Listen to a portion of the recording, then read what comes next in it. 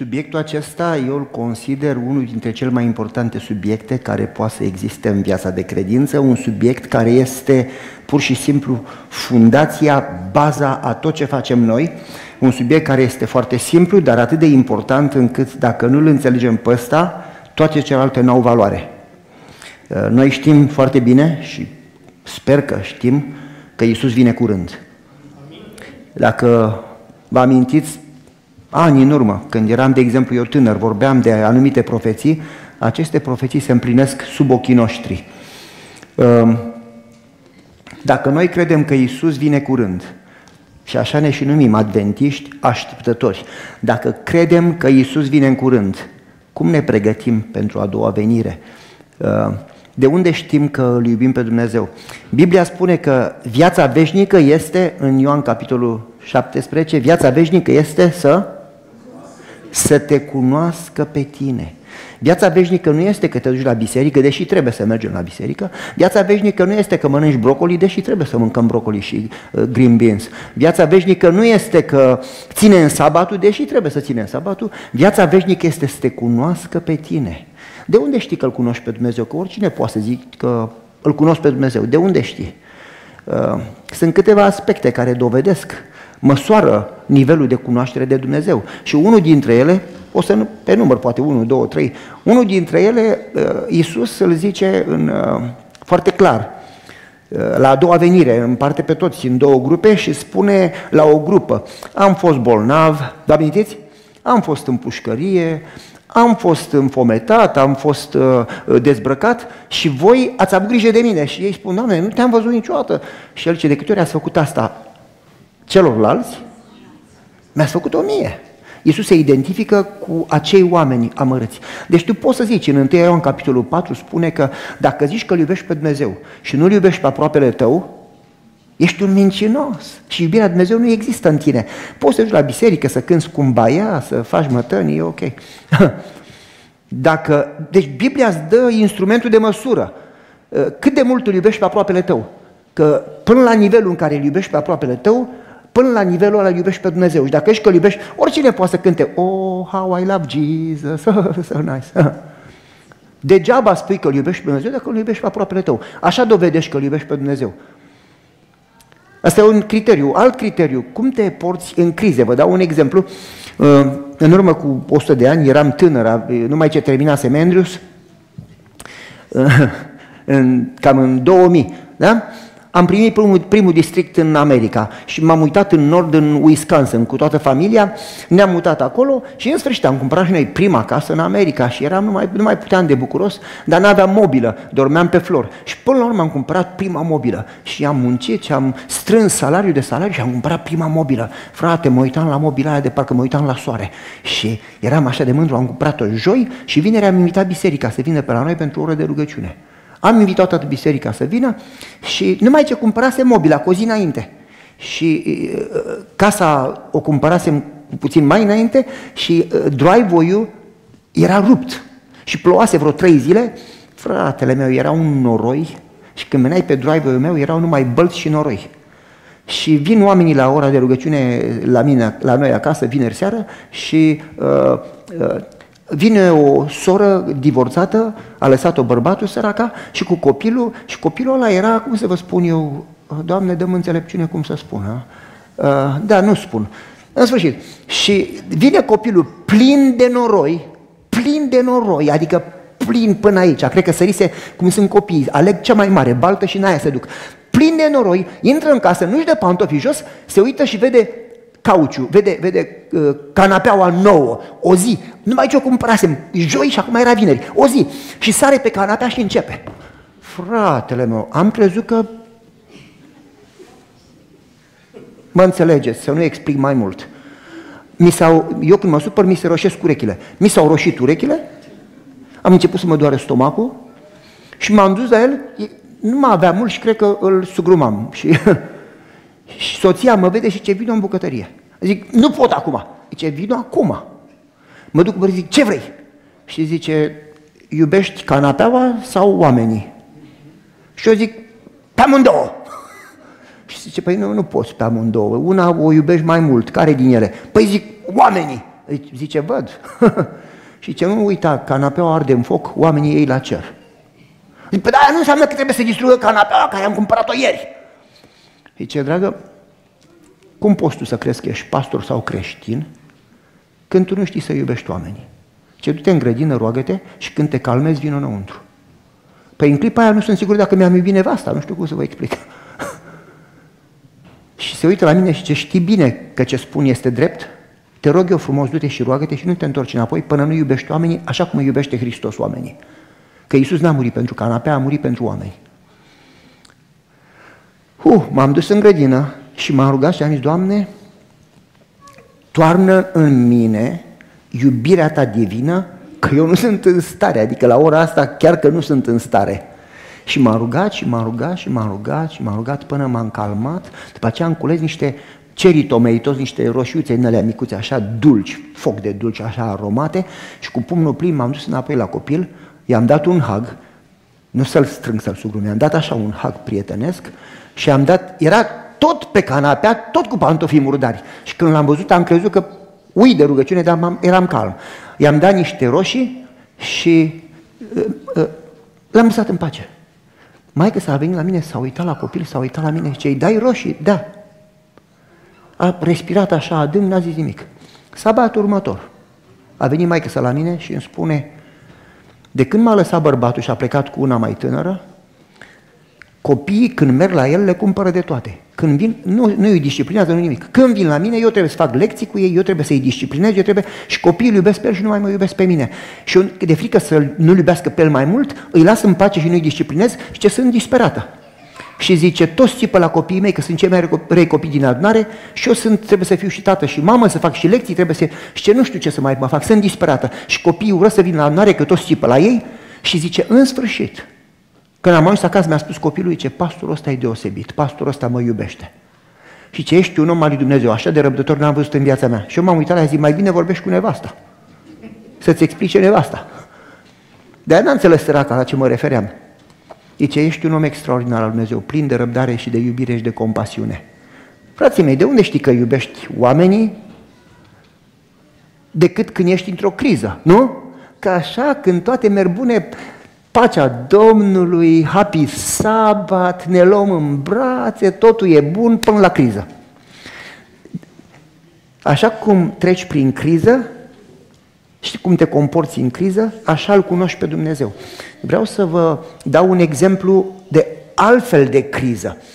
În, tot atunci, un an mai târziu, să zic eu, eram în concediu. Conduceam prin spre Montana din Wisconsin, am luat-o Minnesota, Dakota, în sfârșit, am trecut după aceea, ne-am dus în uh, Wyoming, în Idaho și așa mai departe. Am, ne-am dus la Great Tetons, după aceea ne-am dus la uh, Yellowstone, cine a fost pe acolo știe, și după aceea ne-am dus în Montana, am luat-o pe glaciar, am urcat în sus 1000, 2000 de fit, cum zic eu, 3000 de fit, 4000, pe drumul ăla care merge până sus de tot în vârful muntelui în Montana. Și după ce am urcat noi, eram cu o Toyota Siena, cu un ven bun, așa era aproape noul, cumpărasem de vreun an de zile, ă, am urcat sus, am ajuns, ne-am dus la un hotel, am stat acolo, ziua următoare copiii au mers, era, deși era vara, sus pe munte era încă zăpadă. Copiii au mers pe zăpadă, au mers pe gheață, ne-am plimbat, după două zile, hai înapoi acasă. O luăm pe munte înapoi și coborâm. Coboară muntele și coboară și coboară și coboară și în stânga munte, în dreapta prăpastie așa, abrupt, aproape vertical, peste drum trecea o cascadă, când te uitai în jos și vedeai prăpastia aproape că te apuca frica, în sfârșit, se vedeau nori mai jos de noi. Vă dați seama. Și coborâm noi pe munte și de vorbă eram așa, în ven. Eram eu și cu uh, domnul Ralf în față, era soția pe amândouă scaunele din mijloc, îi place confortul, și erau copiii pe banca din spate. Și cum conduceam, de vorbă, nu mi-am dat seama că tot drumul cât am coborât, am stat cu piciorul pe frână tot timpul. Și a început să miroase ars, și a început să miroase ars și eu de vorbă cu piciorul pe frână tot timpul, în loc să mai frânez, o mai las, mai... în sfârșit, o pum, S-a dus pedala de frână până la podea și când am încercat, s-a rupt un furtun, s-a dus tot lichidul, am pierdut toată presiunea, n-am avut niciun fel, zero frâne. Și mașina auto mai repede, mai repede, mai repede, mai repede, o curbă 180 de grade, toată lumea în mașină a început să țipe, Ralph, în, în dreapta mea, s-a apucat de eu așa un, un mâner în față și deși avea părul creț, i s-a făcut părul, exagerez puțin ca să mă înțelegeți, i s-a făcut de parcă băgase degetele în priză, a albit la față și era și țipa. Soția în spate a început să plângă, să se roage și copiii se jucau video games. Acum ai rândul tău, te bat. Acum ai rând, a, te-am, te-am fript, te-am băt. Și mașina mergea din ce în ce mai tare, curba următoare, curba următoare, Ralf nu mai putea țipând, îl durea gâtul și Ralf se întoarce și întreabă copiii, murim și voi vă jucați! Și Gabi se uită la el și că tata e la volan. Tata e la volan. Acum nu zic că sunt șofer bun. Și povestea e lungă, nu mai trec prin ea, am pus mașina în, de pe drive, pe manual, dacă știți ce e aia, și pe aceea am pus-o pe doi. A început să țipe motorul și cutia și pe aceea am pus cauciurile din față încet înclinate spre bordura din stânga, dinspre munte, încet, încet, încet, încet, până am reușit să încetinim. Am încercat frâna în manual, nu am ținut, n-a făcut nimic. Până am reușit să opresc mașina cu ajutorul Dumnezeu și a durat vreo zi jumate până au reparat-o și după aceea am mers mai departe. Dar când am ajuns în seara aia, după ce a venit o platformă și a luat mașina și am dus-o la reparat, când am stat la hotel în noaptea aia, Ralph a întrebat copiii, ce băi, vouă nu vă pasă mă că murim? Cum puteți să vă jucați când noi murim? Și Gabi zice, păi am fost noi prin tornade cu tata, am fost prin inundații, odată mergeam spre Chattanooga și era apa până la, până la mijlocul ușii și am văzut așa o mașină, cum zice, de a doua în apă și tata a mers înainte, am fost prin foc, am fost prin zăpadă, dacă e tata la volan, dacă îl cunoști, și tu poți să te joci. Acum, eu din nou nu zic că șofer bun, dar copiii au avut încredere în mine până la nivelul că se jucau în timpul ăla de criză. Cum te manifesti în criză arată ce fel de Dumnezeu ai. Nu știu dacă m-ați înțeles ce am zis. Nu cum te manifesti când totul merge bine, ci cum te manifesti când cineva te supără, când se întâmplă ceva, când ești într-o criză, arată ce fel de Dumnezeu ai tu. Și cât de mult, ce impact a avut prezența lui Dumnezeu în viața ta. Dacă credința ta este o teorie sau credința ta este o realitate. Dacă Dumnezeu este o teorie sau Dumnezeu este prezent în mod real în viața ta. Pentru că prezența lui Dumnezeu transformă Hristos în voi. Îți dă o minte nouă, îți dă un spirit nou. Prezența lui Dumnezeu te transformă. Iisus spune că dacă rămâneți în mine și eu în voi, veți produce roade. Așa cunoști oamenii, așa spune Biblia, după roadele lor. Dacă nu sunt roade, poți să cânti cu un baia, să duci la biserică de o mie de ori pe an, nu contează. Vreau să, să dau exemplu din Biblie care l-a citit uh, tânărul așa de frumos. Vreau să vă dau exemplu din Biblie.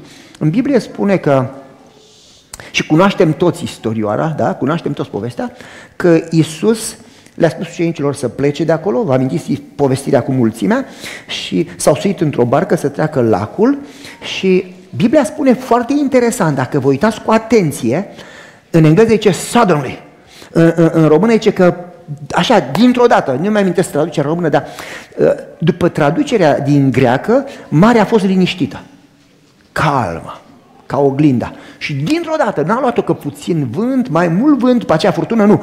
Dintr-o dată, așa cum zic americanii, out of the blue, dintr-o dată o furtună atât de puternică că ucenicii au, au rămas disperați.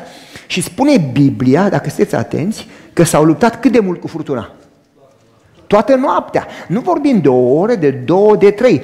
S-au început probabil seara la șapte, opt, când s-au suit în corabie nouă, cât o fi fost, înainte de a se lăsa întunericul și toată noaptea, spune Biblia, până spre dimineață s-au luptat până au fost atât de epuizați că spune Biblia că aproape că au renunțat. Gata, murim, suntem, suntem fără speranță.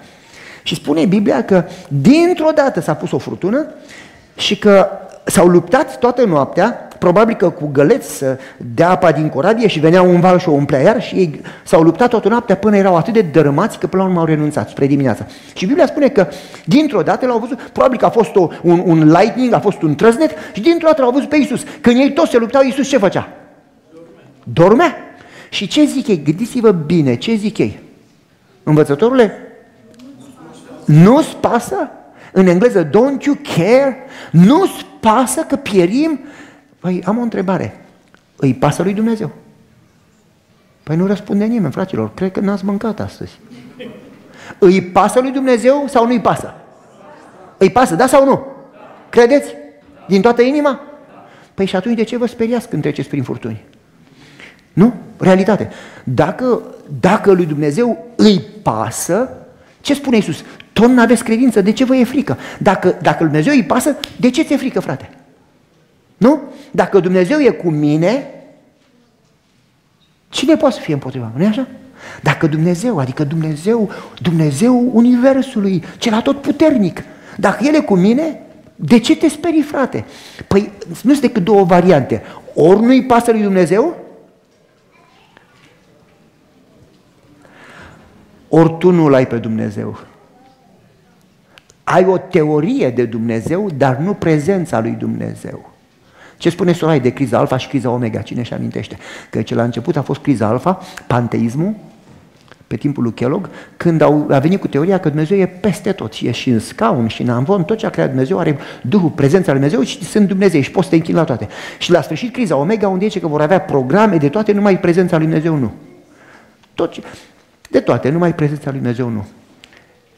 Ori lui Dumnezeu nu-i pasă, ori tu ai o teorie de Dumnezeu fără prezența lui Dumnezeu. O teorie de credință fără o credință reală, adevărată, care să te întărească când treci prin crize. Frații mei, Iisus spune, și Biblia spune și în Daniel, iar Iisus repetă profeția din Daniel, că va fi o criză la sfârșit, cum n-am mai fost niciodată. Adică istoria pământului ăstuia a văzut multe crize. Crize dramatice, groaznice. Adică am văzut toată un documentar cu cutremur din San Francisco și m-a luat cu frică. Vă gândiți la crizele care au fost, războaiele care au fost, genocidurile care au fost, la, la, pan, la toate bolile care au trecut și au ucis cu milioanele, la toate crizele pământului ăstuia și spune că o criză mai mare decât toate crizele istoriei de la început până acum, dacă le puneți la un loc, criza la sfârșit va fi mai mare decât toate la un loc. Cea mai mare criză din... Și Biblia nu spune că va fi o criză. Spirit profetic și Biblia spune că vor fi multe, adică Iisus spune vor fi și cu tare, și cu tare, și cu tare, și cu tare. Și Spirit profetic spune că vor veni toate deodată. Și economic, și politic, și pandemic, și catastrofe, și toate deodată, până la punct că oamenii vor da sufletul. Oamenii o să, o să le stea inima, o să nebunească, o să... Și în situația aia, dacă tu nu te încrezi în Dumnezeu în crizele de azi, cum o să te încrezi în Dumnezeu în criza aia finală? Păi ce frate, ne pregătim când vedem crizele. Fratele meu, crizele au început de mult. Numai că n-au început brusc, și au început așa, încet, încet, ca durerile nașterii. Și noi, pentru că au început încet, încet, încet și de diferență mică, dar tot timpul cresc, diferență mică, noi ne-am obișnuit cu ele și ni se pare că e normal. E normal să ai uh, uh focuri, e normal să ai cutremuri, e normal să ai tornade, e normal să ai războaie, e normal să ai probleme politice, e normal. Ni se pare normal, dar nu e nimic normal. Iisus vine curând. Și noi ce ce? Păi când vedem crizele, mă pregătesc. Frate, crizele au venit de mult și nu te-ai pregătit. Cum te, te pregătești pentru război noaptea înainte de a începe războiul? Te pregătești pentru Olympics noaptea înainte de Olympics? Te pregătești... Cum vine asta? Dacă nu te pregătești astăzi, Biblia spune că toate lucrurile câte? Cât de multe? Ce înseamnă toate? M-am uitat în greacă, știți cum, în engleză, all things work together. Știți cum traduceți cuvântul toate din greacă? Foarte simplu, toate, nu există altă traducere. Toate înseamnă toate. Nu înseamnă 90%, înseamnă 100%. Toate lucrurile acestea, lucrurile care, spune Soroait, lucrurile de zi cu zi, mundane, adică lucrurile neimportante, nesignificante, lucrurile de zi cu zi, te duci grocery shopping, ești în mașină, conduci și doi conduc paralel și mă apucă stomacul. Băi, dă-te mă pe dreapta. Cum adică conduci paralel cu un trac și nu poate să treacă nimeni de tine? În fața ta nu e nimeni, în spatele tău două maile de mașini, bară cu bară.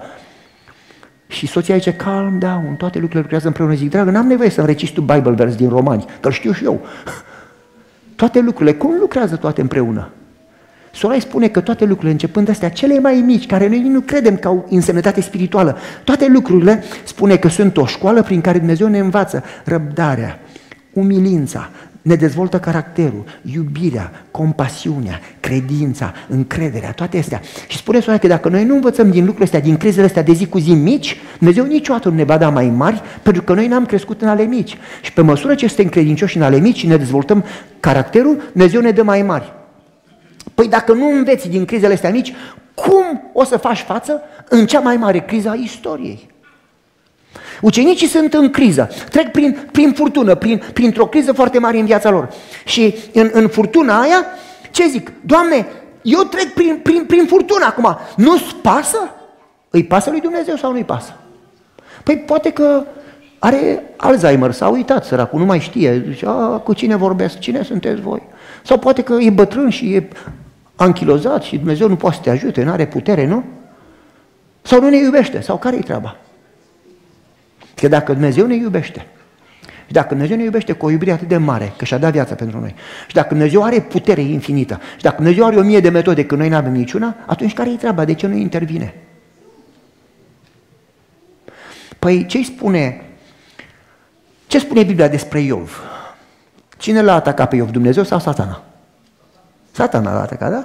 Dar satana se duce la Dumnezeu. Și Dumnezeu zice, ai văzut? Ai văzut servitorul meu Iov? E un exemplu pe fața pământului. Și satana zice, i-ai dat Tesla, i-ai dat Mercedes, i-ai dat Porsche și Ferrari. Are casă în Florida, are casă în Montana, are casă în Carolina și în Maryland. Are salariu mare, are 800 de mii pe lună, are bani în bonds, are bani în savings, are familie sănătoasă, dăm și mie binecuvântele astea și îți dau un hug și te iubesc. Nu? Dăm, dăm toate astea să vezi ce te iubesc. Nu? Dar ia-le toate, lasă-l să treacă prin furtună, să vedem dacă te mai iubește. Nu? Și Dumnezeu zice, nu, nu, nu, nu, nu. Iov nu mă iubește pentru că e binecuvântat, nu mă iubește pentru că îi răspund la rugăciuni. Mă iubește pentru că mă cunoaște. Când trece prin furtună, când trece prin criză, mă iubește la fel de mult ca atunci când e binecuvântat. Nici o deosebire. Poți să spui asta despre tine și despre mine? Când Dumnezeu se pare să nu-ți răspundă, când Dumnezeu se pare că doarme când tu treci prin criză, poți să spui, I know my Redeemer. Știu, dar știu că răscumpărătorul meu este viu. Știu că știe. Pot să trec prin, prin furtuna cea mai mare, știu că tata e la volan. M-ați înțeles? Și chiar dacă nu înțeleg, chiar dacă pierea o să-mi piară, ochii mei îl vor vedea. Mi-amintesc când a murit tata al meu, eram lângă el, era în pat și a intrat în comă. Eram în, și mă rugam, Doamne, te rog, vindecă-l, Doamne, te rog, vindecă Și tata zice, destul. Dacă Dumnezeu vrea, mă vindeca. E destul. Zic, tată, dacă avem credință, Domnul te vindecă. Și tata zice, trebuie mai multă credință să nu vezi o minune decât să vezi o minune. Nu știu dacă ați înțeles. Trebuie credință să vezi o minune, dar trebuie o groază de credință să ai când nu vezi nicio minune. Tata i-a zis lui mama, dragă, nu plânge. Te rog să scrii pe cruce, pe, pe piatra mea să scrii, dar știu că răscumpărătorul meu este viu. Și chiar dacă pielea o se prăpădească, îl cunosc, ochii mei îl vor vedea. Cum a zis Pavel, știu în cine am crezut.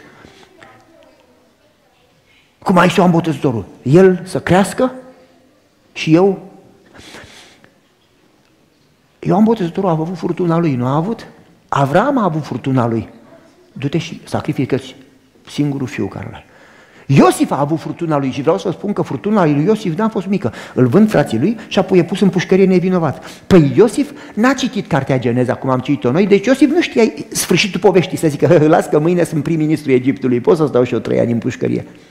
Iosif n-a citit Geneza. Iosif n-a știut dacă mâine mai e în viață sau dacă o să putrezească în pușcărie. Dar zice Biblia că toți în pușcărie au văzut că în el erau Duhul lui Dumnezeu și că el avea pace și că el avea bucurie. Cum a putut omul ăla, în mijlocul furtunii, să aibă atâta credință? Știu că tatăl meu e la volan. Știu că Dumnezeul meu e un Dumnezeu adevărat, care este în total control.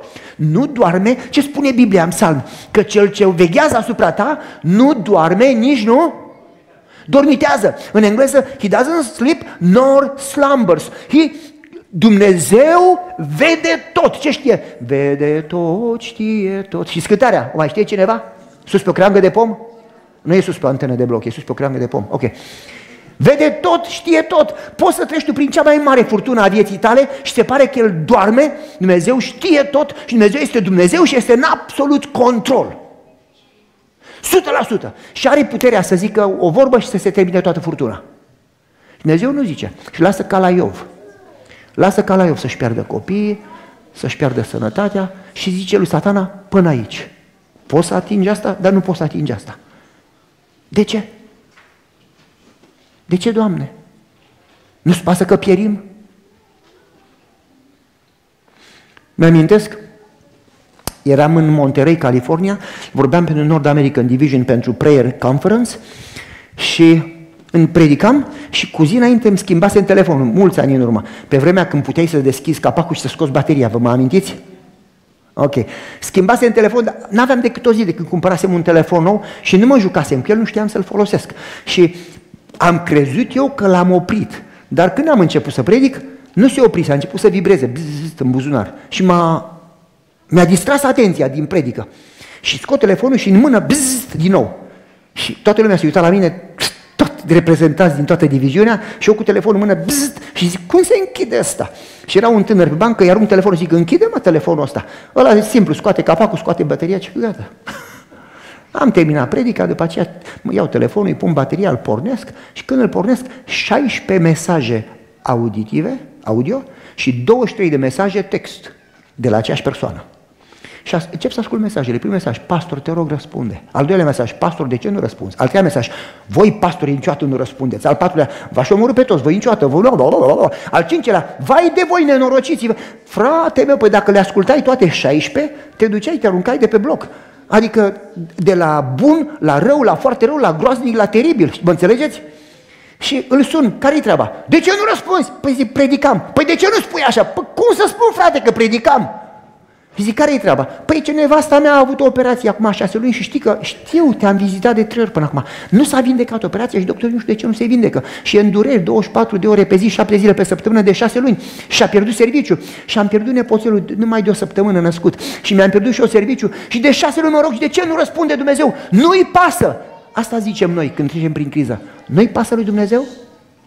De ce doarme când eu trec prin furtună? Și îmi zic, băi, Dumnezeu nu-i place de tine. Și rămâne așa șocat pentru o secundă, zic că ce? Zic, nu-i place de tine, ești ugly, arăți urât. Zic, îi place de mine, uite, arăt bine, mă iubește nevasta, mă iubește lumea, dar tu ești ugly. Și ce pastore, are you kidding? Zic, yes. Zic, listen to you, ascultă tu, tu ascultă de pe tine însuți. De ce nu-i răspunde Dumnezeu? Nu-i pasă. Zic, ce vrei să spun? Că îi pasă, că nu-i pasă, ce vrei să spun? Tu ce crezi, îi pasă sau nu-i pasă? Păi ce teoretic cred că îi pasă, practic sunt disperat. Mă înțelegeți? Teoretic cred, practic sunt dărâmat. Asta e credința noastră. Teoretic venim la adunare, cântăm, ținem sabascul, îi învățăm pe toți. Practic, e ușor să dai sfaturi la alții până treci tu prin criză. Când tu treci prin criză, atunci se vede cât de mult îl cunoști pe Dumnezeu. Și zic, frate, spune și mie, te-ai rugat? Ce fai de mine de șase luni? spune și mie cum te rogi. Păi ce, mă rog. Nu, frate, spunem cum te rogi. Păi mă rog, spunem cum te... Păi ce vrei să spun ție, cuvânt, cuvânt? Da. Păi nu pot, că doar nu ești Dumnezeu. Păi atunci de ce mă suni? Sună pe altcineva. Dacă mă sun pe mine și nu vrei să te ajut, de ce mă suni? E ca și cum te duci la doctor și doctorul ce spune ce te doare, nu pot să spun. Păi de ce vii la mine? Spune cum te rogi. Păi zic, Doamne, uite, nevasta e bolnavă și, Doamne, mi-am pierdut serviciu și, Doamne, zic, stai puțin, de șase luni tot asta spui? Da. Păi zic, vreau să te rogi mâine dimineață diferit. Păi ce îmi spui tu cum să mă rog? Da. Nu? Sunt pastorul, nu? și zice, pe cum vrei să mă rog? Păi zic, Dumnezeu i-a spus deja de șase luni problemele, te duci în prezența Lui, vreau să intri în prezența Lui cu, cu laude, cu mulțumiri. Da? Și ce, păi da, eu n-am motiv să-l, să laud. Ați auzit? N-am motiv să-L laud pe Dumnezeu. Și zic, fratele meu, asta e problema ma tale, tu nu-ți cunoști Dumnezeu. Că dacă ți-ai cunoaște Dumnezeu, l-ai lăuda. Ia gândește puțin. Petru era în pușcărie. Ce făcea Petru în pușcărie? Cânta și se ruga, auzi, în pușcărie. Cum baia, my lord, cum baia. Pe ăla ori și-a pierdut mințile, ori e pe alt nivel spiritual decât suntem noi, mă înțelegeți? Și a doua oră când l-au pus în pușcărie, ce făcea Petru? Ce făcea Petru în pușcărie? Și ce spune Soroait în, faptele în Cartea Faptelor Apostolilor? Ce spune Soroait? De ce dormea? Deci așa zice, știa că Tatălui Ceresc este în control, că Dumnezeu nu doarme, că Dumnezeu știe absolut, procesezi, Dumnezeu știe tot, Dumnezeu știe, te, te cunosc de departe. Dumnezeu știe când te culci și când te trezești. Știe gândurile tale. Spune în Biblie că Dumnezeu îți cunoaște gândurile tale. În ebraică zice, înainte să se formeze. Deci Dumnezeu cunoaște ce o să gândești înainte să gândești. Dumnezeu știe toate greutățile tale, a știut greutățile tale înainte să te fi născut, să a știut toate zilele vieții tale. Dacă Dumnezeu știe tot, pentru ce ce? Băi, dacă Dumnezeu știe și Dumnezeu îngăduie, eu nu știu de ce, dar am încredere în El. Îl, nu înțeleg ce se întâmplă, dar îl cunosc pe Dumnezeu și asta e suficient. Iosif în pușcărie. N-am habar ce se întâmplă în viața mea, de ce am ajuns aici, dar un lucru știu, îmi cunosc răscumpărătorul. Și știu că Dumnezeul meu e real. Și știu că Dumnezeul meu nu doarme. Păi dacă, frate, încerci să înțelegi ca să poți să ai încredere, paia nu-i credință. Că credința nu se bazează pe ce înțelegi, și că, frate, nu, n-am simțit că Dumnezeu m-a iertat. Păi, frate, credința sau iertarea sau... Nu sunt lucruri care le simți, că bzzt, uh, uh, am simțit, e, e cald, așa se simte prin tot corpul și măghidile după gât am simțit că Dumnezeu m-a iertat. Nu simți, frate, asta nu e bazat pe simțuri, pe știință, pe explicații, pe... e bazat pe credință, pe o cunoaștere de Dumnezeu. Nu? Credința nu e bazat pe știință, ci e bazat pe relație.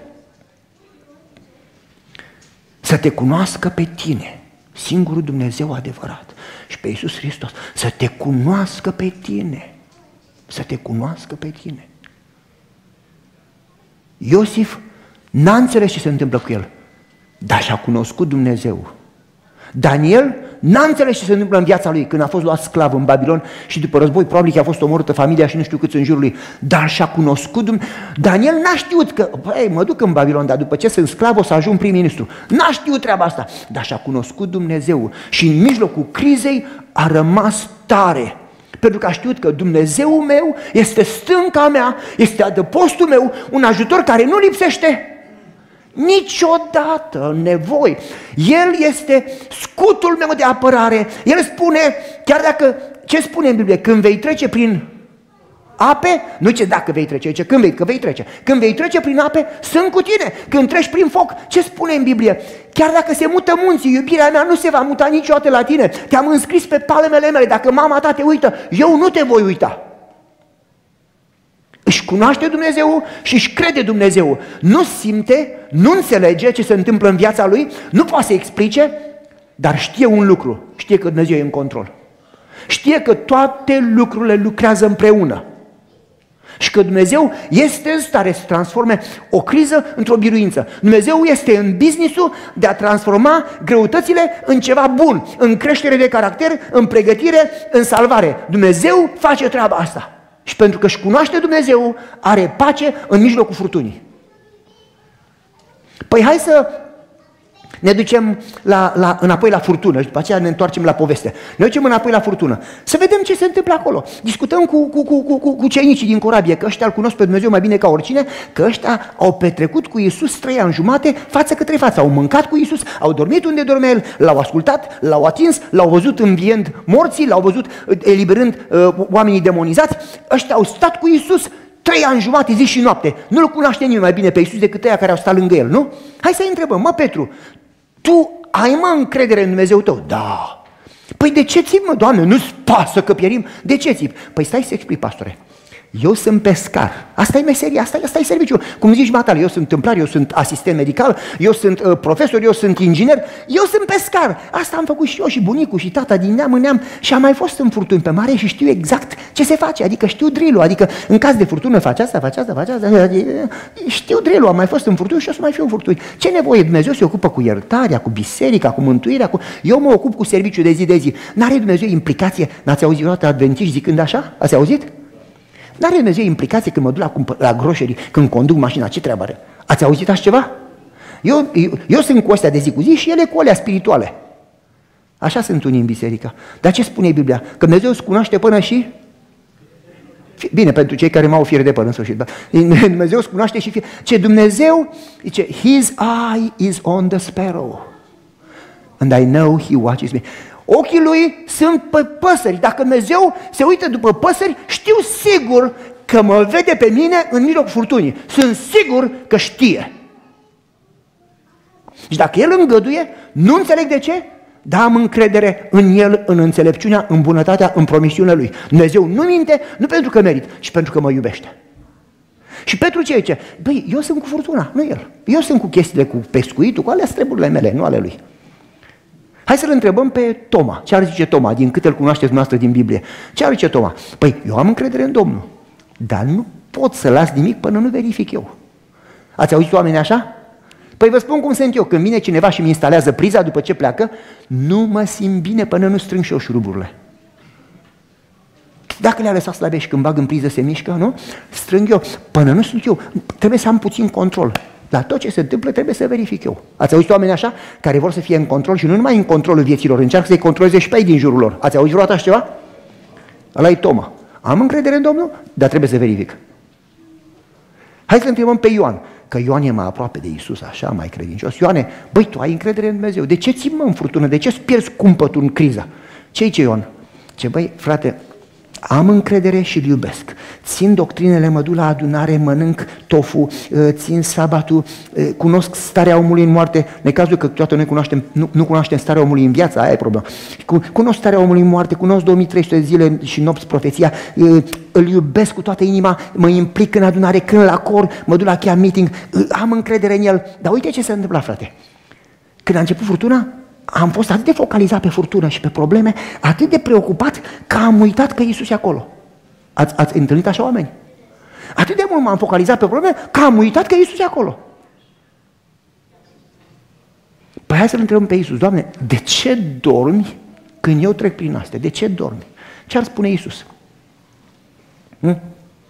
Păi Isus nu răspunde niciodată decât cu parabole ca să te facă pe tine să răspunzi, ca să te facă pe tine să înțelegi ce se întâmplă. Adică, când zice Iisus lui Adam, unde ești? Nu că Iisus nu știa unde e Adam, știa foarte bine, nu? Vede tot, știe tot. Dacă te duci în fundul oceanului, te vede și acolo. Iisus îl întreabă pe el unde ești, să-l facă pe el să înțeleagă unde este. Nu? De aici zice David, cercetează minima și cunoaște-mă. Nu că Dumnezeu, vai de mine, nu mă cunoaște Domnul, ce să mă fac? Ci pentru că tu nu te cunoști și Domnul trebuie să arate ție unde ți-e inima, că tu poate crezi că ești așa și tu ești așa. Și atunci Iisus răspunde cu o parabolă să te facă pe tine să înțelegi. Și când tu zici, Doamne, de ce dormi? Ce zice Domnul? Ce băi, tu ți amintești când conduceai din Montana? Da. Și s-a rupt venul? Da. Ce au zis copiii tăi? Tata e la volan. Să spun de ce dorm. Tatăl meu e cel mai bun conducător de barcă de pe univers. Și tatăl meu este Dumnezeu Universului și este Creatorul și este cel Sfânt și cel Atotputernic. Și Tatăl meu comandă Universul. Când zice, se întâmplă. Tatăl meu este în controlul furtunii și în controlul mării și în controlul bă- bărcii. Și dacă tatăl meu vrea să mor, mor cu plăcere, am încredere în el. Și dacă tatăl meu vrea să trăiesc, poate să lovească furtuna cât de mult trăiesc. Așa că n-are rost să mă consum, că m-am pus în mâinile lui și pot să dorm liniștit. Și ucenicii trebuia să știe, păi, dacă Iisus poate să doarmă și eu sunt cu Iisus, înseamnă că și eu pot să dorm. E așa? Dacă Iisus poate să doarmă, înseamnă că și eu pot să fiu liniștit ca El în mijloc furtunii. Tragedia este că pentru ca să dormi liniștit în mijlocul furtunii, trebuie să-ți cunoști Tatăl și să ai încredere în El. În momentul în care te pierzi în mijlocul furtunii, înseamnă că nu-ți cunoști Tatăl și că n-ai încredere în El. Mă întorc la povestea cu fratele meu care m-a sunat și mi-a lăsat multe mesaje. I-am zis, fratele meu, du-te la rugăciune mâine dimineață și spune, Doamne, îți mulțumesc că ești Dumnezeu atât de bun. Și citește din Biblie, citește tare, la rugăciune, 10 promisiuni, 10 Bible promises. Și ce, păi, dar de ce să fac asta? Uite așa că te rog eu. Citește 10 promisiuni. Știu planurile care am cu privire la tine. Planuri să... Așa e? După aceea citești. Domnul îi se aparată de departe. te iubesc cu o iubire. Pe aceea citește și dacă munții se vor muta, iubirea mea să... Pe aceea citește 10 promisiuni și spune, Doamne, îți mulțumesc pentru și cred în tine. Nu înțeleg ce se întâmplă, dar știu că tu nu minți. Și nu înțeleg cum, dar cred că tu îți împlinești cuvântul. Sau aici spune așa, fiți atenți, paragraful ăsta este foarte puternic. Ce credința nu are legătură cu feelings, cu, cu, cu emoțiile. Ce feelings au, au de-a face cu starea noastră. Credința are de-a face cu Dumnezeu. Și de aici nu aștepta, fiți atenți la cuvintele astea, nu aștepta să simți în ordine, ca să crezi, ci ia o hotărâre și zice, credința e o hotărâre a minții. Zice mind decision, așa zice, mind decision. E o hotărâre a creierului. Zice, ia hotărârea să crezi nu bazat pe ce se întâmplă, nu bazat pe logică, nu bazat pe ce meriți, nu bazat pe your uh, emotions and feelings and chemistry și moods, bazat pe cuvântul lui Dumnezeu. Pentru că Dumnezeu nu minte ce a zis, e 100% sigur. Dacă Dumnezeu a promis, 100% se întâmplă. Ia o hotărâre mentală, chiar dacă nu înțelegi, Doamne, ce se întâmplă, de ce sunt în pușcărie, Iosif? Doamne, nu, nu înțeleg ce se întâmplă cu mine. Chiar dacă nu înțelegi, ia o hotărâre în minte, teore, mind decision, să crezi că Dumnezeu nu minte și spui, Doamne, nu înțeleg, dar hotărăsc să cred în tine. Și spune Surait, hotărăște și apoi spune, cred. Și zice dânsa, spune laud, spune cu voce tare, cred. Și ce în momentul în care hotărăști să crezi, în momentul ăla Dumnezeu începe să lucreze. Ce chiar dacă tu nu vei înțelege acum, vei înțelege mai târziu. Ia o hotărâre, zici, Doamne, cred. Și ce hotărârea asta îl onorează pe Dumnezeu și îi dă permisiunea să lucreze. Acum gândiți-vă dumneavoastră de câte ori facem noi treaba asta când trecem prin crize? Doamne, nu înțeleg, nu înțeleg, dar mă încred în Tine. Tu ești stânca mea. Și am spus, zic, citește 10 promisiuni și spune, Doamne, cred. Ce pastore, dar nu cred, ce vrei să mint la rugăciune? Mai frate, nu spun să minți, ci spun să hotărăști. Să, să de aici înainte vreau să cred. Ajută necredințe mele. Mă înțelegeți? Și ce, și, și zice, n-are niciun sens. Zic, fratele meu, te-ai rugat șase luni ca tine, roagă-te odată ca mine. Ce pierzi? Dacă mori, îți promit că ții o, o predică frumoasă. și pe aceea zi, mai vreau să faci un lucru. Vreau să-i amintești Dumnezeu cum a lucrat de 5, 6, 7, 80 ori în trecut, când ai trecut prin crize. Că asta nu e prima criză în viața ta și nu e nici ultima. Vreau să-i amintesc, Doamne, mi-amintesc când am fost bolnav. Doamne, mi-amintesc când mi-am pierdut pașaportul. Doamne, mi-amintesc când nu găseam chele de la mașină și eram prin știu țară. Doamne, mi-amintesc. Și cum ai lucrat tu? Pentru că Dumnezeu, care a început asta în voi, e în stare și să fi, termine și va termina, va duce până la capăt. Dumnezeu care este, cum zice, cap, capitanul salvării este în engleză autor și finisher. În, în, cum zicem în română? Căpe, căpetenia de săvârșit. Dumnezeu e în stare și va termina ce a început. Și vreau să-i amintești cum a lucrat în trecut. De ce? Păi spune Sorait, nu avem nimic să ne temem decât dacă uităm cum ne-a condus Dumnezeu în trecut. Când îți amintești, spune dânsa cum ți-a lucrat în trecut, îți dă credință pentru prezent. Și a spus, spune, Doamne, Tu ai lucrat în trecut. Cred că tu nu te-ai schimbat, cred că tu ești același și vei lucra și în prezent. Și apoi zic, vreau să mai faci un lucru. Sună pe cineva care trece prin greutăți și spune și lui promisiunile astea și spune cum a lucrat Dumnezeu în trecut. Ce pastore nu face niciun sens. Zic, băi, fă ce spun eu. Păi, nu mă, fă mă ce spun eu odată. Bine. Ok.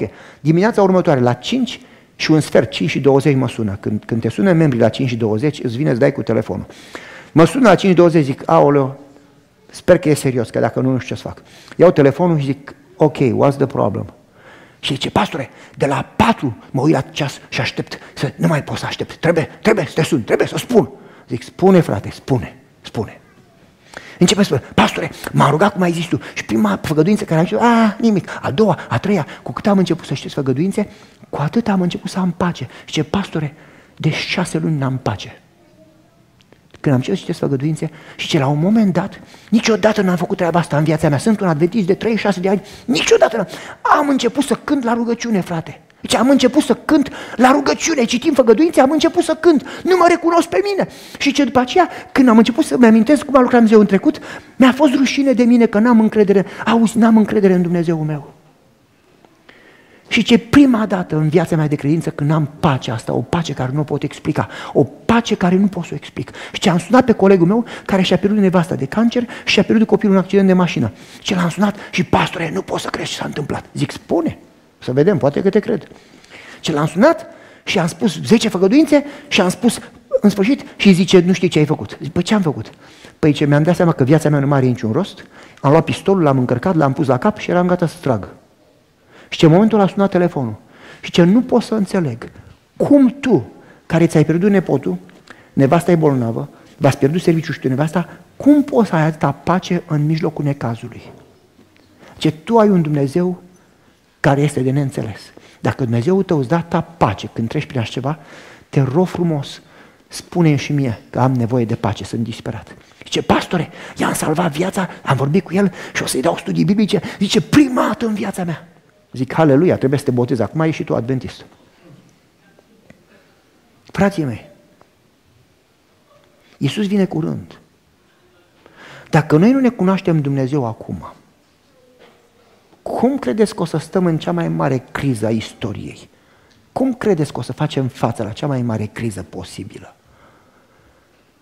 Gândiți-vă, asta este cheia credinței, să te cunoască pe tine. Gândiți-vă la Israel. Israelul n-a pierdut Canaanul. Spune Sorait în Patriarh Profeții că Dumnezeu ar fi vrut să-i ducă repede. Ar fi vrut să-i ducă repede în țara promisă. Dar n-au intrat din ce cauză? Din ce cauză, fraților? Că erau ziduri mari? Că erau uriași? Că erau armate mari? Că aveau probleme? Că aveau crize? Că se erau în furtună? De ce n-au intrat? Ce spune în Evrei, capitolul 3? De ce n-au intrat? Poporul lui Dumnezeu nu s-a încrezut în Dumnezeu. Să, nu, să fii adventist să fii creștin și să n-ai încredere în Dumnezeu. Nu e nimic mai rușinos. Ce credință e aia, frate? Păi frate, mă duc la biserică și nu mănânc porc și țin sabatul. Frate, lene și țin fiecare zi, că ei niciodată nu lucrează. Nu e mare lucru că nu lucrezi sâmbătă. Degeaba ții sabatul dacă nu-ți cunoști Dumnezeu. Eu nu zic să nu ții sabatul, să nu mă înțelegi greșit. Dacă ții sabatul și nu-L cunoști pe Dumnezeu, degeaba, adică o să spun la sfârșit, Doamne, dar n-am făcut noi minuni și ne-am dus la biserică și am cântat cu baia și am mâncat tofu și am ținut evangelizări. Și ce spune Iisus? Nu vă cunosc. Și Iisus nu spune nu vă cunosc didascalo, care înseamnă în greacă informații, teoretical, nu spune genosco, care înseamnă relație. Spune acolo în Biblie, când zice Iisus, nu vă cunosc, depărtați-vă de la mine, spune oida. Oida, ce înseamnă? Nu înseamnă că nu vă cunosc, că tu nu-L cunoști pe Dumnezeu teoretic, nu înseamnă că nu-L cunoști rațional, înseamnă N-am avut experiență cu tine și tu n-ai avut experiență cu mine. Nu mă cunoști atât de bine să treci prin experiență și să ai încredere în mine. Oida înseamnă n-ai destulă experiență să te încrezi în mine. Tu ai o teorie, dar n-ai încredere. Așa le spune Iisus la sfârșit. Oida. Ce se întâmplă în furtuna aia? Ce s-a întâmplat în furtuna aia? Ce s-a întâmplat în furtună? Păi ce spune Biblia? Spune așa Biblia. Că dintr-o dată a apărut o furtună și zice în, în engleză over the deep. Nu ce over the sea, nu ce peste mare, ci ce peste adânc. V-ați gândit la asta? În greacă erau două cuvinte pentru mare. Era mare și adânc. Foloseau marea când se freau la mare și foloseau adânc când erau foarte supersticioși și credeau că zeii mării, zeii oceanului îi atacă pentru că zeii sunt supărați. Și când foloseau cuvântul deep, se refereau la locul zeilor și a spiritelor, locul spiritelor. Și ce că a apărut o furtună peste deep, peste locul spiritelor. Și pe aceea spune că Isus a ribiuct, a certat și nu, nu folosește cuvântul din, egrai, din, din greacă pentru certat, ci folosește cuvântul epitemao, de, de unde avem de cuvântul epidemia. Epitemao. Când folosește Iisus cuvântul ăsta în Biblie? Păi când sunt de, doi demoniați, demonizați în Gadara și Iisus ceartă demonii și demonii intră în porci. Iisus folosește cuvântul epitemao. Când vine un părinte și ce fiul meu este chinuit de un demon și demonul dă copilul la pământ și copilul începe să facă spume la gură, să tremure, Iisus ce cuvânt folosește? Zice, Iisus a certat demonul. Cuvântul este epitemao. Când vine unul și zice, servitorul meu, și Iisus ce cuvânt folosește? Epitemao. Iisus folosește cuvântul ăsta ca să, să, să arunce, cum se zice, tu chiar staut, să, să scoată demonii, să-i, să-i gonească. Și spune Sora White, dacă citiți în Hristos al lumii, că deși Iisus are puterea să linșească marea și oceanul, îi zice, să fie lumină, pum, lumină. Să fie pomi, pomi. Deși Iisus are puterea asta, când vorbește se întâmplă, are putere creatoare, e Dumnezeu, De data asta, spune Sorait, el n-a vorbit mării, ci a vorbit demonilor. Și spune Sorait acolo, dacă citiți, că demonii au încercat să-L omoare pe Iisus ca să distrugă planul mântuirii, planul de redemption. Nu-i prima dată, au încercat să-L omoare și când se născuse, dacă vă amintiți. Că satana a sperat să-L distrugă pe Iisus și ucenicii, urmașii lui. Și spune că satana a atacat dintr-o dată corabia încercând să o scufunde. Și Iisus le vorbește demonilor, demonilor spune epitemao, care înseamnă enough, de ajuns, pleacă până aici. Cum a zis la Iov, până aici, până aici, atât. Și pe aceea ce taci, după ce zice rebuke, epitemao, ce taci fi liniștită, care se traduce uh, oprește-te și o, o, din, a, din luptă oprește din acțiune, pleacă până aici. Iisus are puterea să zică epitemao în viața ta. Întrebarea este, îți cunoști Dumnezeu? Este real în viața ta astăzi? Pentru că Biblia zice, astăzi, dacă auziți glasul Lui. Astăzi este ziua mântuirii. Alege astăzi. Dacă tu nu-ți cunoști Dumnezeu astăzi, să te încrezi în El, cum crezi tu că o să-L cunoști în criza finală? Dacă Dumnezeu îngăduie să treci prin ceva astăzi, ca să-ți crească credința și relația și experiența cu El, folosește ocazia, frate, și cunoașteți Dumnezeu până la punctul că Dumnezeu devine real în viața ta de zi cu zi. Dacă ne gândim uh, și închei cu... Uh, știți povestea lui Louisa Steed? Louisa Steed, cineva știe povestea? Care a scris cântarea Tis so sweet to trust in Jesus. Știți cântarea? Cum e în română? Sunt salvat pe vecie, dar în engleză e așa de dulce să te încrezi în Domnul. Luisa Steed a fost imigrant din Europa mulți, mulți, mulți, mulți, mulți ani în urmă, între războaie, a venit în America cu familia, s-au stabilit în New York, n-au găsit servici, n-au găsit locuință, s-au chinuit, i s-a născut o fetiță, după trei ani, fetița avea deja trei ani, în sfârșit, bărbatul a găsit servici, cam doi ani jumate. Au început să strângă bani, și-au, luat, și-au închiriat un apartament, au început și ei și au zis, în sfârșit, după atâta muncă, hai să mergem și noi în 5 zile de concediu, un weekend mai lung, s-au dus în South Carolina, la plajă, era vara, era furtună, a venit un val mare, un copil era în apă și valul l-a luat pe copil, bărbatul a văzut, s-a dus și valul l-a, l-a lovit, l-a luat și pe el, a murit și copilul acela străin și bărbatul ei. S-a întors acasă cu o fetiță de 3 ani fără bărbat. De aia n-avea servici, bărbatul avea servici. În momentul în care s-a dus bărbatul și a pierdut bărbatul, și a pierdut serviciu, într-un cuvânt. Au dat-o afară din apartament, a venit iarna. Era în, în Central Park, în New York, dormea pe bancă în parc și era noaptea și era frig și ținea fetița în brațe să o încălzească. Și spune dânsa, dacă citiți istoria, ce n-am înțeles ce se întâmplă în viața mea, dar am hotărât să nu-mi pun ochii pe probleme, ci să-mi pun ochii pe Isus. Acolo e cheia. Cântarea nu zice, turn your eyes over your problems. zice, turn your eyes upon Jesus. Întoarceți ochii spre Isus. Amintiți-vă cele 12 iscoade. 10, băi frate, sunt pereți mari, sunt armate mari, Ăia, noi suntem ca lăcustele, ne mănâncă cu tot cu pene, de, de, de termină. Nu putem, frate, să nu putem, e o criză reală. Aveau dreptate sau greșeau?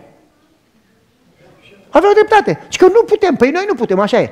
Dar totuși greșeau. Pentru că doi dintre iscoade ce au zis? Amintiți-vă cum ne-a scos Domnul din Egipt cu plăgi. Amintiți-vă cum a secat Marea Roșie. Amintiți-vă cum ne-a dat legea la Sinai. Amintiți-vă cum ne-a dat pâine din cer 40 de ani. Amintiți-vă cum... A, nu 40 de ani, că nu aveau 2 ani atunci. După aceea s-au întors 40. Amintiți-vă cum ne-a, cum ne-a dat apă din stâncă. Amintiți-vă cum ne-a dat biruință peste Hon, Och și Sigon. Amintiți-vă, amintiți-vă, același Dumnezeu care a fost cu noi în trecut, nu, Dumnezeu nu se schimbă, la El nu este nici umbră de mutare, Dumnezeu va fi cu noi. Puneți-vă, nu vă uitați la probleme, uitați-vă la Dumnezeu. Sora spune că cu când ne uităm mai mult la probleme, cu atâta problemele par să fie mai mari. Cu când ne uităm mai mult la Dumnezeu și înțelegem cât de mare e, cât de bun e, cu atâta probleme par să fie mai mici. Și aici avem pace. Întoarceți, frații, ochii pe Domnul, nu pe probleme. Sora îi spune, fiți atenți, ce, ce nu vorbiți în doubt, don't talk doubt, cum zici, nu vorbiți despre îndoială, nu? Ce nu, ce nu vă gândiți despre îndoială, ce nu vă rugați cu cuvinte îndoielnice, că ce dacă vă rugați, veți, you, you, veți pierde mult. Zice, veți da uh, ground, veți da câștig lui satana. Și ce ce vorbiți despre credință, vorbiți despre binecuvântări, rugați-vă cu cuvinte pline de credință. Și ce vorbiți ca și cum credința voastră ar fi învingătoare. Și atunci Dumnezeu poate să lucreze. Luiza Stid zice, am ales să nu mă uit la ce se întâmplă în viața mea, să nu mă gândesc că n-am ce mânca și că vine iarna, ci am ales să-mi pun ochii pe Dumnezeu. Și în situația aia, pe bancă, în parc, iarna vine, n-are bărbat, n-are mâncare, n-are servici, n-are apartament. Scrie cântarea. E așa de bine, e așa de dulce să spui încrederea în Domnul. Aia e credința. Exact cum spune Iov. Ce zice? Îmi cunosc răscumpărătorul. Exact cum spune Pavel. Știu în cine am crezut. Și în momentul ăla trece unul dintre cei mai bogați oameni din istoria Americii și o vede și zice, tu cânți? Ce da. Ce trebuie să fii foarte, you must be very blessed, trebuie să fii foarte binecuvântată. Și ea zice, da. Și ce ai casă mare? Ce nu. Ce ai mașină? Nu. Pe vremea aia mașină era rare. Zice, ai salariu mare? Nu. Zice, dar unde locuiești? Aici pe bancă. Zice, păi n-ai nimic? Nu, n-am. Păi de ce cânți? Pentru că l-am pe Dumnezeu cu mine și am încredere că El știe. Dacă El are grijă de păsări, o să aibă grijă și de mine. Și omul zice, ok, te angajezi la mine să vedem cum te porți. O angajează și când vede cât de cinstită este, o pune peste toată casa lui, peste toate averile lui. După doi ani îi dă totul pe mână. Un om, toată lumea știe, vestit în istoria Americii. Și spunea că după doi ani pleacă în Africa și clădește un orfelinat, o școală, o biserică și un spital. Se întoarce înapoi și iar lucrează și spune Dumnezeu m-a binecuvântat nu ca să o duc bine, ci ca să fiu ca Hristos, să binecuvintez pe alții. Asta înseamnă creștinătate. Nu că te duci la biserică și happy sabat, happy sabat, oh, nu mănânc porc și țin sâmbătă, vai, ce bine! Credința adevărată este să te cunoască pe tine. Și cum se vede că îl cunoști pe Dumnezeu? Cum te traporți în criză? Nu când e totul bine. Cum îi tratezi pe ei din jurul tău? Aia e credința adevărată. Și Isus ce spune? Isus dormea. Iisus dormea. Iisus știa, spune Hristonomii, că tatăl lui este în control. Gândiți-vă la chestia asta. Au fost multe furtuni în viața oamenilor de credință din Biblie. Și Dumnezeu de fiecare dată a spus epitemao. Și la Avram, și la Iosif, și la toți. Dar Iisus, când a murit pe cruce, tatăl n-a spus epitemao. N-a zis, de ajuns, până aici. L-a lăsat pe fiul lui să moară. Și ucenicii în momentul ăla sunt disperați. Noi credeam. Vă amintiți? Dar, de fapt, criza aia, cea mai mare din viața lor, era cel mai bun lucru care s-a întâmplat lor, pentru că datorită crizei noi suntem toți mântuiți. Se poate cumva ca criza de care ești tu disperat să fie, de fapt, modul prin care Dumnezeu lucrează ca să fii mântuit? Se poate? Ca toate lucrurile să lucreze spre bine? Se poate? Și atunci de ce, frate, de ce ne pierdem încrederea și zicem, Doamne, nu-ți pasă? De ce noi zicem, Doamne, mi încredințez viața în mâinile tale? Nu înțeleg, dar aleg să mă încred în tine. Pentru că te cunosc pe tine. Nu înțeleg ce se întâmplă, dar te știu pe tine și știu că mă iubești. Și aleg să-mi pun toată încrederea în tine. Amin? Domnul să ne ajute să înțelegem că fiecare zi, fiecare oră, fiecare moment nu e la întâmplare, ci este o ocazie care Dumnezeu ne-o dă să creștem, este o școală prin care Dumnezeu ne dezvoltă caracterul și ne pregătește. Zi de zi ne pregătește, nu e nimic la întâmplare, tot ce se întâmplă e o pregătire pentru criza finală, e o pregătire pentru lucrarea Lui. Ca noi să-L înțelegem pe Dumnezeu, să-L cunoaștem pe Dumnezeu, să ne încredem în Dumnezeu, să umblăm cu Dumnezeu și să arătăm în viața noastră, nu numai prin teorie, ci prin comportarea noastră, să arătăm că Dumnezeu este real. Amin? Amin. Domnul să vă ajute și pe voi, pe noi, pe toți la aceasta. Haideți să ne rugăm împreună, să avem o rugăciune de încheiere.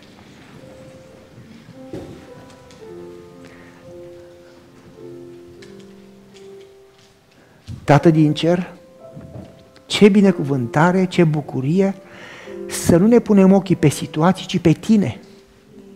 Să nu ne punem ochii... Iosua n-a încercat să înțeleagă ce se întâmplă la Erihon, ci te-a cunoscut pe tine și a pus încrederea în tine. Gedeon n-a încercat să înțeleagă cum va cuceri, și te-a cunoscut pe tine și a pus încrederea în tine. Ajută-ne, Doamne, să învățăm să te cunoaștem pe tine, așa cum, e, cum zice David, într-un pământ, într-un deșert, într-un pământ uscat, fără apă. Te-am văzut pe tine, prezența ta e mai bună decât orice. Ajută-ne, Doamne, să te dorim pe tine, să te căutăm pe tine, să te cunoaștem pe tine, să te iubim pe tine, să ne încredem în tine. Până la punctul în care tu devii real și faptele noastre vorbesc de prezența ta în viața noastră. În numele lui Isus te rugăm și îți mulțumim. Amin.